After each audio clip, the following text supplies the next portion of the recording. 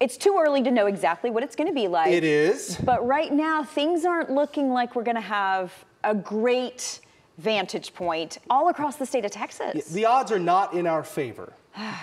but you can get lucky sometimes. I want to explain. So we can get an idea of the weather pattern, the larger scale of mm -hmm. things, seven to 14 days out. That's okay. why we have a 14 We're day forecast. Pocket. We yeah. see that, right?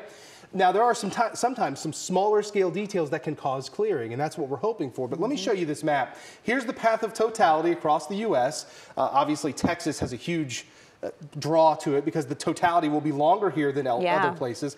Now, just like we're seeing tonight and tomorrow, an upper level disturbance will be sitting somewhere near Southern California, the exact location to be determined. But what that means is it'll start pumping moisture into the area. So if we look at a couple different models, we're overlaying the clouds, right, on top of the totality path. Well, this is the European model with that cloud cover at 140, which would be total eclipse mm. time.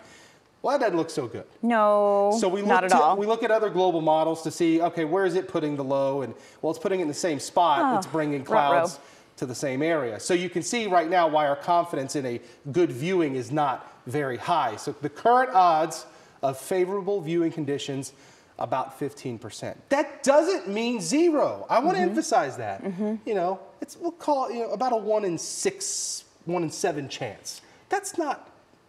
I'm trying to be optimistic. it's not great, but it's not the worst. It's not zero. Right. So if we had a day like today, where those clouds are just kind of hanging around yeah. all day long, what would we experience? What would we see? Okay, so if the clouds are, this is the thing too, the, the cloud thickness will make a difference too. Mm -hmm. If we mm-hmm. have thin clouds, you'll actually see it. Right. It'll be filtered sunshine, right? Yeah. Uh, if we have overcast skies, you're not going to see the sun just like you wouldn't on a normal overcast day. It'll get really dark for yeah. like four minutes. You'll certainly know the eclipse is there. Yeah. Uh, then it'll be gone. So we're watching it carefully. When I tell you that we're just as bummed as anybody else, I and know. we're hoping for the best, things can change. Yeah. We'll keep it out. All right.